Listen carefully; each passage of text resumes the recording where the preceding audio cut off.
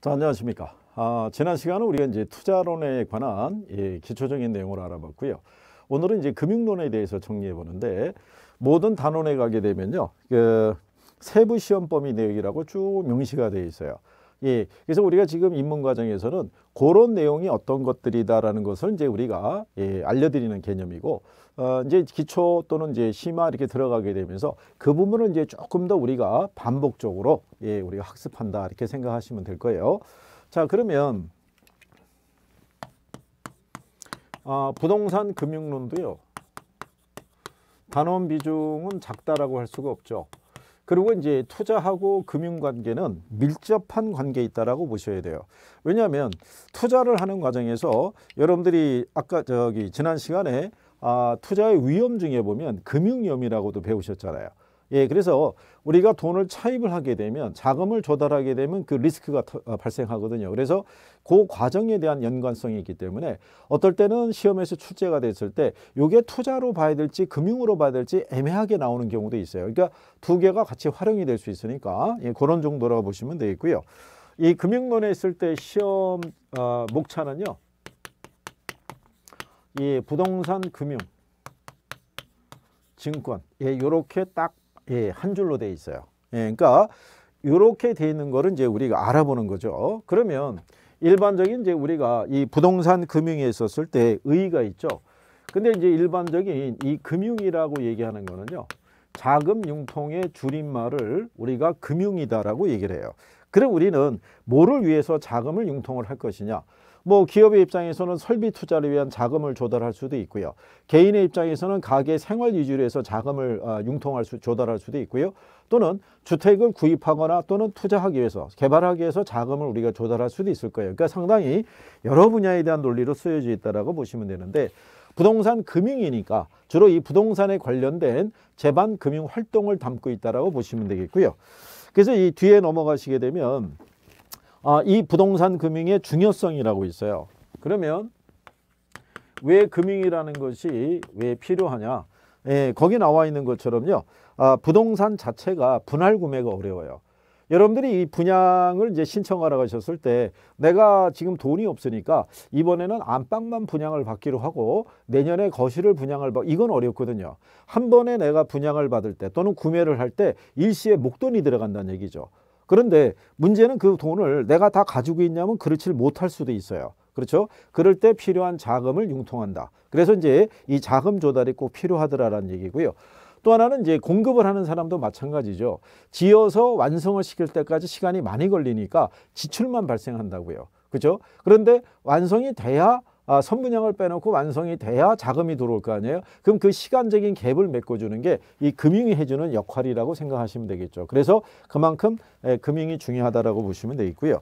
그러면 이 부동산 금융과 관련된 기초 개념이라고 그래서 용어들이 있어요. 예, 거기 보시면은 대출자하고 차입자가 있는데요. 참고로 이 부동산 금융에서는요. 대출자라는 거는 자금을 융통해주는 금융기관 등을 우리가 예, 대출자라고 얘기를 하고요. 차입자는 돈을 빌려 쓰는 사람이죠. 그러니까 일반 투자자 등을 생각을 하시면 될 거예요. 예, 그래서 대출자 또는 차입자 이렇게 나눠져 있고요. 그 다음에 지분금융하고 이제 부채금융이라는 게 있어요. 그거는 별표를 하나 해주시는 거예요. 지분하고 이제 부채금융이라는 것은요. 자금을 우리가 융통을 할 때 지분의 형식을 빌려서 자금을 조달하는 게 지분금융이에요. 그러니까 일반적인 지분금융은요. 이 투자를 받는 케이스를 얘기를 하고요. 부채금융이라는 것은 돈을 차입을 하는 케이스라고 생각을 하시면 돼요. 그렇죠? 예, 근데 어느 게 더 비용적인 면에서 유리하냐 이런 얘기죠. 내가 투자를 받는다는 얘기는요. 투자자에게는 이자를 줄 필요는 없어요. 그렇죠? 하지만 아, 투자에서 발생하는 수익의 일부를 이 투자자가 투자한 지분의 크기에 따라 나눠줘야 돼요. 그렇죠? 그리고 부채를 우리가 이제 돈을 차입을 하게 되면 수익을 나눠줄 필요는 없지만 이자는 줘야 되는 거죠. 그렇죠? 그러면 지분과 부채의 크기를 비교해 봤을 때 어느 것으로 조달하는 게 비용 부담이 적으냐에 따라서 그죠? 이자를 주고 자금을 조달하는 게 수익의 일부를 넘겨주는 것보다는 낫다고 그러면 예, 차입을 해서 자금을 조달하는 게 낫고요. 그렇지 않으면은 예, 투자를 유치하는 게 훨씬 나을 수도 있다는 얘기죠. 그러니까 그 여부를 잘 판단할 수 있어야 되더라 이런 얘기죠. 근데 여러분들에게는 투자나 차입에 대한 아, 이 두 가지의 상산것까지는 물어보지 않고요. 지분금융이라는 것은 어떤 종류가 있고 부채금융은 어떤 종류가 있는지를 주로 물어보는 거예요. 그래서 이제 그런 내용 정도로만 여러분들이 알아두시면 될 거예요. 그래서 그 지분금융에도 종류가 색을 달리해서 들어가 있고요. 부채금융도 교재에 보면 색을 달리해서 들어가 있죠. 예, 그러니까 나중에 그 종류에 대한 것만 예, 정확하게 구별할 수 있으시면 돼요. 그래서 나중에 우리가 구별할 때 지분금융의 종류는 조신리입니다. 뭐 이렇게도 해드려요. 그러면 이게 이제 조인트 벤처, 그 다음에 신디케이트, 그 다음에 이거 리츠라고 그래요. 부동산 투자 회사. 그래서 거기 289쪽의 하단에 가면 아, 문제를 확인하기 위해서 다음 자금 조달 방법 중에서 지분금융에 해당하는 게 뭐냐 그랬을 때 답이 3번에 부동산 투자회사 리츠라고 이렇게 명시가 되죠. 그러니까 이렇게 제목적인 수준에 물어보니까 아, 그래서 지분금융하고 부채금융은 아, 종류를 구별을 해놔야겠구나. 예, 이렇게 생각하시면 될 거예요. 예, 그리고 이제 뒤로 넘어가시면 예, 직접 금융하고 이제 간접 금융 이런 게 있는데요. 직접 금융은 이제 기업에서 주식 등을 발행을 해서 투자자부터 자금을 직접 조달하는 케이스도 될 수 있고요. 간접 금융이라는 것은 은행을 매개로 해서 자금을 조달하는 거죠. 그러니까 은행은요 불특정 다수의 고객들로부터 아, 예금이라든가 적금 상품을 판매해서 아, 그거를 돈을 수신을 받아서 또는 다른 사람들에게 대출을 해주는 그런 관계가 간접금융에 해당이 되더라 이렇게 여러분들이 생각하시면 되겠고요. 그 다음에 이제 이자율에 대한 부분이 주어져 있는데요. 음, 이자율을 우리가 정할 때는 이자율이라는 것은 결국은 뭐냐면 돈을 빌려주거나 또는 빌려 썼을 때 대가로 지급하는 게 이자다라고 생각하시면 돼요. 근데 그 이자라는 게요. 약정 이자율이 있고 시장 이자율이 있는데 약정 이자율이라는 거는 대출 계약 당시 정한 이자율이에요. 정한 이자율 그걸 줄여서 우리가 약정 이자율 이렇게 얘기를 하고요. 시장 이자율이라는 것은요. 시장이 어떤 수요와 공급 등에서 결정되는 이자율이라고 보시면 되는데요. 그 종류는 뭐 CD 금리라든가 국채 금리라든가 여러 가지가 내포되어 있다라고 보시면 돼요. 뒤에서 다시 또 약정 이자율, 시장 이자율 이렇게 또 언급이 돼요. 그리고 이제 명목 이자율과 실질 이자율의 관계가 있는데요. 요거는 나중에 이제 기초 들어갈 때 조금 더 들어갔을 때 예, 설명을 해드리죠. 그 다음에 이제 우리나라의 주택금융제도라고 구성이 되어 있어요. 우리나라의 이 주택금융제도를 보게 되면요. 제도권 금융이 있고 그 다음에 비제도권 금융 이렇게 나와 있는데요. 우리나라의 과거는 이제 비제도권 금융도 이제 많이 발달이 돼 있다. 이게 이제 여러분들이 아시는 전세 또는 선분양 뭐 이런 거를 가지고 할 수 있는 케이스고요. 아, 제도권 금융에 대표적으로 쓸 수 있는 게 주택도시기금이라고 있어요. 예. 그래서 이제 이렇게 이제 금융적인 관계가 이제 구별이 되어 있으니까요. 외우시거나 하실 필요는 없고요. 예, 이렇게 나눌 수 있더라. 그리고 이제 뒤에 넘어가면요. 요 주택 도시기금에 대한 부분이 그 설명이 되어 있는데 주택 도시기금이 이제 공공자금인데요. 요게 이제 어떤 거냐면요. 이전에는 국민주택기금이라고 그랬는데 명칭이 바뀐 거예요. 그래서 요 주택 도시 기금을 가지고요. 국민주택 규모 있죠. 예, 그 이하의 주택을 예, 공급하거나 또는 임대할 때 요 자금을 지원해 준다라고 이렇게 생각하시면 될 거예요. 요것도 시험상에서는 인용이 한 번 됐었어요. 두 번 나왔었어요. 그러니까 특징은 뭐가 되냐면요. 아, 주택 에, 국민주택 규모 이하의 주택이 있죠. 예, 그래서 여러분들이 293페이지 상단에 가시면은 기금의 용도가 나와 있죠. 거기 보시면 국민주택 규모 이하의 주택을 구입, 임차 또는 개량할 때 이 기금의 지원이 이루어지더라 이런 얘기죠. 그럴 때 요게 최근에 나온 시험은요. 미음에 가면은 국민주택 규모 이하인 주택의 리모델링에 이 기금 지원이 이루어지는데 이상의 주택에 이 기금 지원이 이루어진다 그래서 틀리게 준 적이 있어요. 예, 그래서 그렇게 여러분들이 음, 구별하시면 되는데 그래서 참고로 보시면 아, 주택도시 기금은요. 계정이 크게 두 가지예요. 그래서 주택계정이라는 게 있고요. 도시계정으로 이렇게 나눠질 수 있다. 그래서 요거는 국민주택 규모 이하의 주택이 있죠. 예, 여기에 이제 기금 지원이 이루어지고요. 도시계정은 도시 재생 사업이 있죠. 예, 여기에 이 기금 지원이 이루어진다. 그러니까 옛날에 이 국민주택기금에서는 이 계정이 없었어요. 근데 주택도시기금으로 명칭이 바뀌면서 이 계정이 새로 들어왔다. 예, 이런 정도로 예, 보시면 될 거예요. 그래서 이 기금을 관리하는 게 주택도시보증공사가 그 업무를 수행하고 있더라. 예, 이런 정도 여러분들이 생각하시면 될 거예요. 그리고 이제 그 뒤로 넘어가시게 되면 예, 주택 청약 종합 저축 제도라고 그래서 예전에는 청약 예금 부금 뭐 이런 게 있었는데 다 이걸로 통일이 됐다는 거. 그래서 주택 청약 종합 저축 제도는 아, 대상에 제한이 없다라는 거죠. 예, 그래서 예, 그러니까 예를 들어서 예전에는 뭐 18세 이상 뭐, 미, 아, 뭐 미만이라 뭐 무주택 서민 뭐 이렇게 위주로 했는데 지금은 대상에 제한이 없다라는 거 뭐 그런 정도 알아두시면 되겠고요. 그러면 이제 여기서 이 금융에서 가장 중요한 거는요. 295페이지에 가시면 주택 금융이라고 구성이 돼 있어요. 그죠? 그러니까 금융도 얘가 중심이에요. 그러면 결국은 이 주택 금융이라는 건요. 주택을 소비하거나 또는 주택을 개발하기 위해서 필요한 자금을 융통하는 게 주택금융이고요. 또 하나는 이제 어떤 이제 시간적인 갭을 메꿔주는 역할을 한다라고 보시면 되겠죠. 이번에 뭐 속칭 뭐 시세 말로 영끌 뭐 이런 얘기 하잖아요. 근데 영혼까지 끌어당길 때 뭐를 끌어당긴다는 얘기예요. 자금을. 그렇죠. 자기 현재 있는 돈 갖고는 안 되니까 빌려서라도 뭐 집을 사야겠다 뭐 이런 거잖아요. 그러니까 그때 주택을 구입하기 위해서 또는 주택을 공급하기 위해서 필요한 자금을 융통하는 게 이제 주택금융이고요. 그래서 이 종류를 우리가 이 나눠보게 되면은요. 주택 소비금융이라고 있고요. 그래서 이 주택 소비 금융을요. 우리가 이제 수요자 금융 이렇게도 얘기하는데요. 일반적인 저당 대부라는 것은요. 부동산 담보 대출 이런 개념이라고 보시면 되겠죠. 예, 대신에 이제 주택 개발 금융이라고 있어요. 음, 이걸 우리가 이제 뭐 건축 대부 뭐 이런 식으로도 표현을 하는데요. 일반적으로 이 주택개발금융에 대표적으로 쓰는 게 프로젝트 파이낸싱이라고 있어요. 그래서 그거는 나중에 이제 뒤에서 우리가 정리하게 되겠죠. 그래서 여기 소비금융은요. 일반적인 장기 저리 요건이에요. 예, 근데 주택개발금융 같은 건축대부 같은 경우는요. 대출 기간이 짧고요. 이자가 좀 비싼 편이에요. 그건 왜 그러냐면 아, 이거를 개발하는 과정에서 시간이 걸리잖아요. 근데 자금을 조달할 때 한꺼번에 많은 돈을 빌려오게 되면은 개발이 완성될 때까지 시간이 걸리는데 그러면 부채 비율이 증가하게 되고요. 여기에 따른 이자 부담이 커지죠. 그래서 공정별로 여기는 단계별로 지급하는 게 일반적이다. 이렇게 여러분들이 생각하시면 될 거예요. 그래서 소비금융이 있고 개발금융이 있더라 이런 얘기고요. 그 다음에 이제 그 295쪽에 하단에 가면은 주택금융의 기능이라고 있죠. 역할이라는 얘기죠. 근데 요 주택금융에서요. 가령 예를 들어서 여러분들이 자 대출 규모 있죠. 규모가 한 5억. 그죠? 연리 1%. 대출 기간 30년. 예, 이런 식의 지원을 해주게 되면요. 많은 사람들이 이거를 융자를 받아서 집을 살 수 있을 거예요. 그죠? 그러면 자가주택에 대한 소비가 어떻게 돼요? 예, 늘어나고. 그러니까 주택 거래가 활성화가 된다는 얘기죠.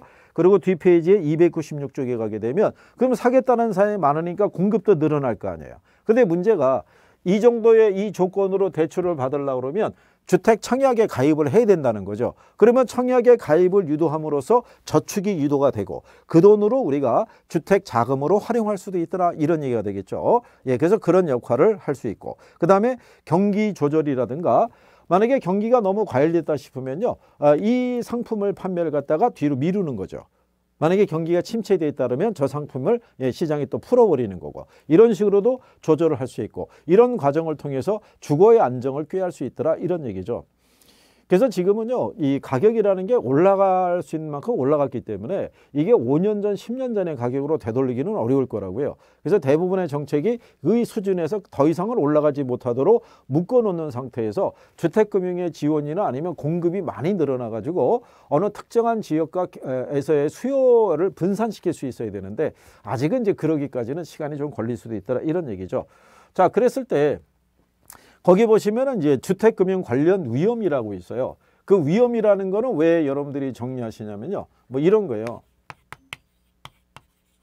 나중에 이제 우리가 고정 이자율이라고 그래서요. 이자율이 만기가 될 때까지 동일한 이자율을 적용할 케이스가 있어요. 그러면 거기서 이자율을 정하거든요.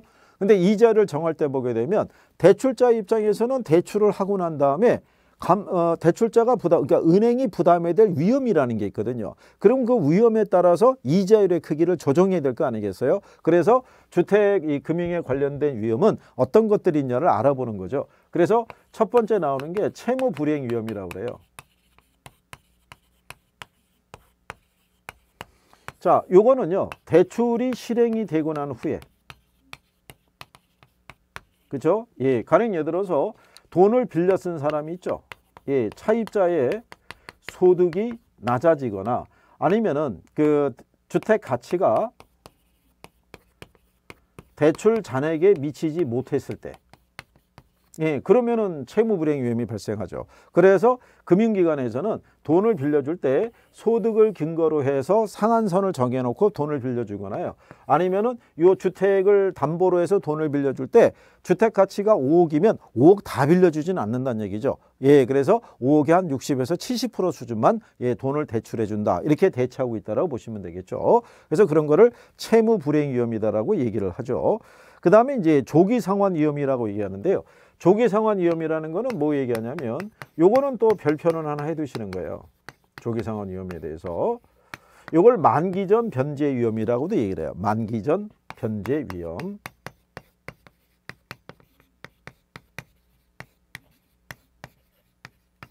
요거는요. 약정 이자율 하고요. 예, 시장 이자율이 이렇게 주어져 있을 때 이런 경우라고요. 그러니까 이게 특히 고정 이자율 하에서 이게 좀 커져요. 예. 그러니까 약정이라는 거는 계약 당시 정한 이자율이거든요. 대출을 해줬을 때 5%의 이자율로 대출해줬는데 시장 이자율이 떨어지면서 시장 금리가 4%인 거예요. 그러면 돈을 빌려 쓴 사람의 입장에서는 어떻게 되겠어요? 비싼 이자를 주고 계속 갚아나갈 것은 부담되잖아요. 그러면은 갈아탄다고요.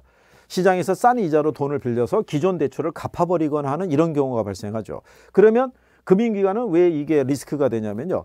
원래 5%의 이자 수익이 있었잖아요. 근데 이게 조기 상환이 들어오고 난 다음에 다시 대출을 해주게 되면 4% 이상의 이자는 얻을 수가 없어요. 그러니까 수익이 줄어드는 경우죠. 그러니까 금융기관의 입장에서는 부담이 생기는 거죠. 이걸 우리가 조기 상환 위험이라고 그래요. 그러면 조기 상환 위험은 약정 이자율과 시장 이자율 중에서 어떤 게 얘가 얘보다 클 때란 얘기죠. 그러니까 시장 이자율이 높아지고 있는 수준에서는 절대로 조기 상환이 안 들어오는 거죠. 그래서 그 용어를 알고 있느냐를 예, 여러분들에게 물어보는 거예요. 그래서 위험 중에는 이제 그런 것들이 있구나. 특히 그 중에 조기 상환 위험 정도는 내가 정리를 해놔야겠구나. 예, 이렇게 구별하시면 될 거예요. 자, 그 다음에 우리가 이제 거기 보시면 주택금융의 금리 적용 방식하고요. 상환 방식이라고 있어요. 거기는 이제 별표 하셔야 되죠. 별표도 돼 있죠. 예, 그래서 금리 적용 방식하고 예, 상환 방식에 대해서 그럼 우리가 이제 대출을 받게 됐을 때요. 금리 적용 방식을 보게 되면 예, 금리라는 게 크게 보게 되면 고정 이자율 하고요. 변동 이자율로 나눌 수가 있어요. 요게 이제 대출 만기가 됐을 때요. 대출 만기 때까지 동일한 이자율을 이렇게 적용하는 것이 이게 고정 이자율 제도고요. 사전에 약정한 기간에 따라서 일정한 기간마다 금리를 조정하는 것이 변동 이자율 제도라고 보시면 돼요. 그러니까 기본적인 성격 정도만 이렇게 알아두시면 되겠죠. 자, 그랬을 때 고정 금리는요. 예, 여기 있는 변동 이자율에 비해서는 초기 이자율이 높아요. 예, 높은 이유가 뭐냐면요. 거기 보면은 고정 이자율 대부 방법이라고 돼 있죠. 예. 여기 보시면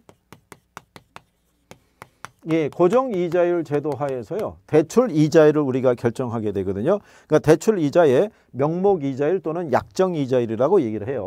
예. 요 이자율이라는 건요. 예, 실질 이자율에다가요. 예, 플러스 이제 뭐가 들어가냐면 예상 인플레이션율이 들어가요.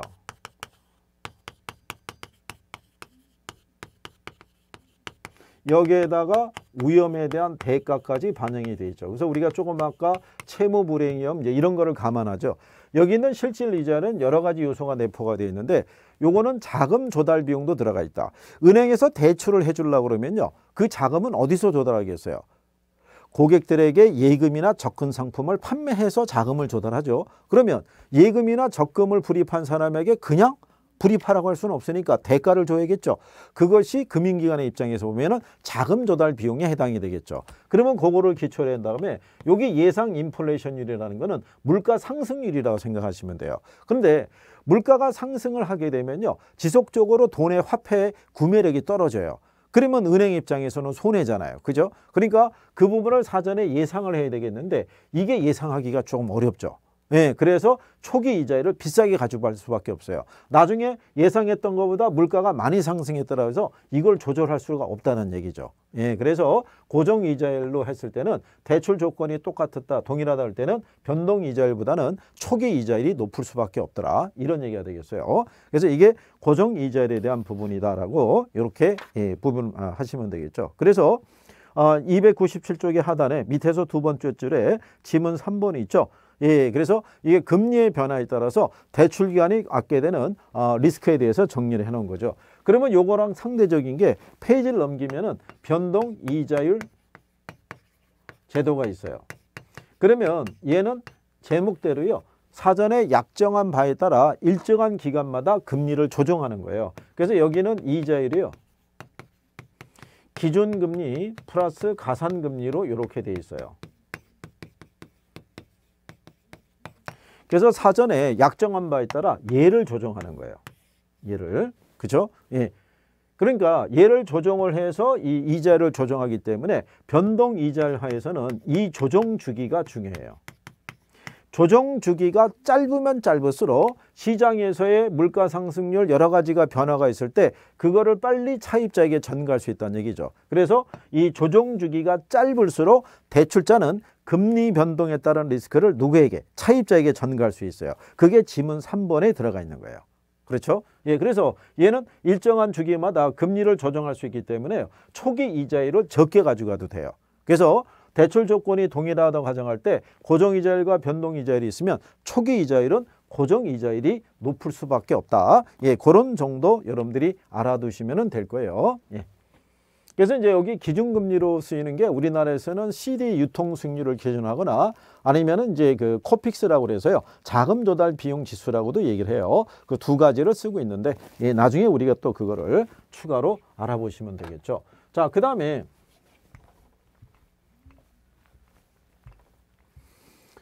요게 이제 금리 적용 방식이면요. 어, 299쪽에 가면 예, 거기에 보면 원리금 상환 방식에 대한 부분이죠. 예, 여기 금리 적용 방식도 알아둬야 되겠고요. 이 원리금 상환 방식에 따라 예, 그래서 요거는 계산도 나올 수 있는 데인데요. 기본적으로 원리금을 이제 상환할 때 여기서도 뭐를 하나 알아두시면 되냐면 이 방식 중에 보면요. 예, 원금 균등 상환 방식이 있고요. 예, 원리금 균등 상환 방식이 있어요. 그리고 점증 또는 최정 상환 방식이라고 있어요. 근데 여러분이 가만히 보시면 얘는 원리금이 균등해요. 얘는 원리금이 어떻다는 얘기예요? 점점 증가하는 구조라는 거죠. 그런데 원금 균등은 원리금의 구조가 안 나타나 있잖아요. 그러니까 이 원금 균등은요. 시간이 가면서 원리금에 대한 상환액이 점점점 줄어들어요. 왜 줄어드냐면 원금은 균등해요. 그죠? 그런데 우리가 이자의 계산이라는 건요. 융자 잔액에다가 이자율을 곱해서 계산하는데요. 여러분들이 우리가 상식적으로 볼 때 돈을 원리금을 상환하게 되면 이 잔액은 점점 줄어들 거 아니에요. 그러면 얘가 줄어들 때 얘가 고정 이자율이면 이자의 금액이 점점 줄어들겠죠. 그래서 얘는 원금은 균등하지만 시간이 갈수록 이자는 줄어들어요. 그래서 얘는 원리금이 체감하는 방식이라고 얘기를 해요. 즉 원리금이 감소한다. 예, 요거를 기초적으로 물어보는 거예요. 그러니까 아, 원금 균등에 대한 그 내용. 그런데 얘는 원리금이 균등하다는 건 알겠어요. 그런데 이 안에서 원금하고 이자의 구성이 어떻게 되는지를 몰라요. 그거는 이 제목에서 표시가 안 돼 있잖아요. 그러면 원리금 균등에 대해서는요. 대출 초기 있죠. 초기보다 시간이 경과하면서 원금 상환분은 이렇게 증가해요. 근데 이자 부분은 시간이 경과하면서 감소하는 구조를 갖고 있어요. 왜? 잔액이 줄어드니까. 그러니까 요거는 대출 초기에는 대출 잔액이 많이 남아 있는 거예요. 그러니까는 원리금이 균등할 때 그 안에서 이자가 차지하는 비중이 크지만 시간이 가면 갈수록 원금 상환이 꾸준히 이루어지니까 잔액이 점점 줄어들겠죠. 예, 그러면 이자가 나중에 점점점 감소하는 구조로 돼 있어요. 그렇죠? 그래서 그림으로 우리가 이렇게 확인해 보면요. 대출 기간 내내 원리금은 동일한데요. 시간이 갈수록 예, 이자 부분은 줄어들고요. 원금 상환분은 이렇게 커지는 구조로 돼 있어요. 그렇죠? 예. 그래서 여기서는 요걸 이론적으로 물어볼 때 요걸 제일 잘 물어봐요. 예. 원금 균등도 요 관계 이해를 물어보는 거예요.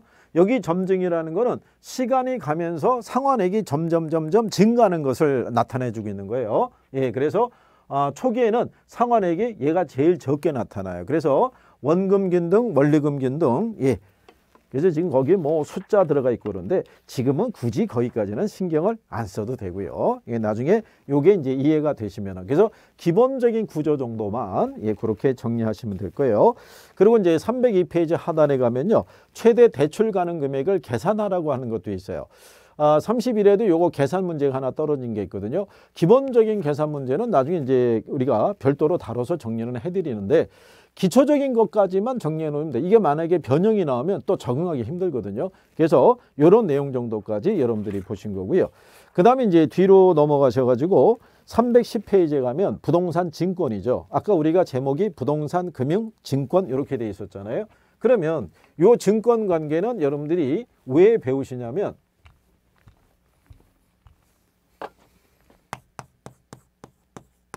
예, 개요 정도만 이제 알아두신다 이렇게 보시면 되는데 이런 거예요. 예, 가령 예를 들어서 은행이 있어요. 자, 은행은 불특정 다수의 고객들로부터 예금을 수신을 받아갖고요. 이거를 불특정 고객에게 대출을 해줘요. 그때 여러분들이 아시다시피 예금 이자하고 대출 이자의 차이가 있죠. 그걸 우리가 이제 은행에 섞게 되는 예대 마진이라고 얘기를 해요. 그러니까 은행은 자금 조달해서 운영을 해야지만 꾸려 나갈 수가 있겠죠. 그런데 고객이 맡긴 예금은요. 단기 자금이고요. 대출은 대부분 장기로 이루어져요. 그럼 만약에 고객 소유의 부동산에다가 돈을 대출을 해줘요. 3억을 융자를 해줬어요. 그러면 은행은 여기에다가 저당권 설정하겠죠. 그렇죠? 그런데 고객이 맡긴 예금은 은행의 입장에서 는 부채라고요.